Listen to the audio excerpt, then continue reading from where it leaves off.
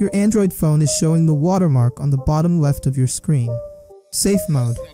If you unintentionally turn on safe mode on your Android phone, I will show you how to turn it off in this video. So let's get into it. Safe mode is actually used to help you diagnose an issue on your phone, and it is available on every Android phone. But if you turn it on accidentally, here are two methods to turn it off. The first method is only available on some Android phones because your manufacturer might not have this enabled on your own phone. What you want to do is swipe your phone down from the top of the screen, and you will see a notification that shows you safe mode is on. If that is available on your phone, then this method is for you. Otherwise, go to the next method.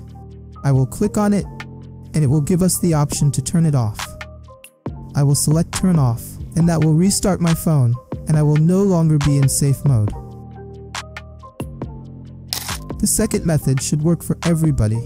All you need to do is restart your phone. Just press and hold the power button until it shows the screen for powering off. Then tap on the restart button. And your phone will restart and you will enter the normal mode.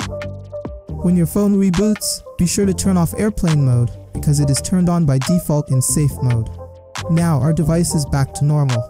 So, those are the different methods to turn off safe mode on any Android phone. If you find the video helpful, click the like button and also consider subscribing to the channel.